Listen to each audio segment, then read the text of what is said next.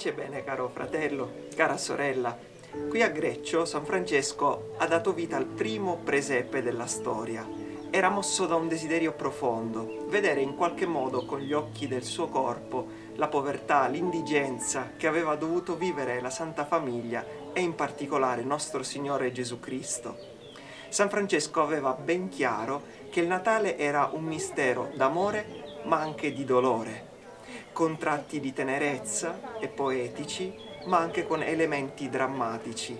Innanzitutto tratti di tenerezza, la consapevolezza di Dio che per amor nostro, per amor mio, per amor tuo, si è fatto tanto piccolo, per entrare nella tua vita, nel tuo cuore, ma dall'altro anche tratti drammatici, appunto la povertà e la sofferenza della Santa Famiglia Vorrei augurarti due cose dunque per questo Santo Natale. La prima è che tu possa riscoprire quest'amore folle di Dio per te, che bussa al tuo cuore per potervi entrare e per poterlo salvare.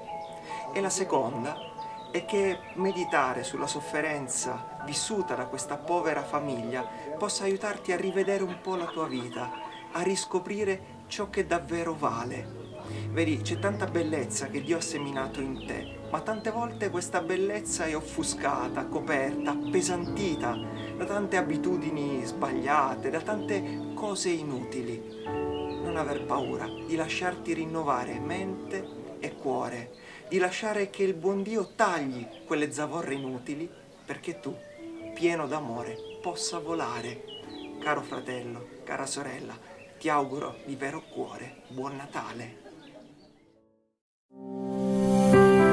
Cari fratelli e care sorelle, auguri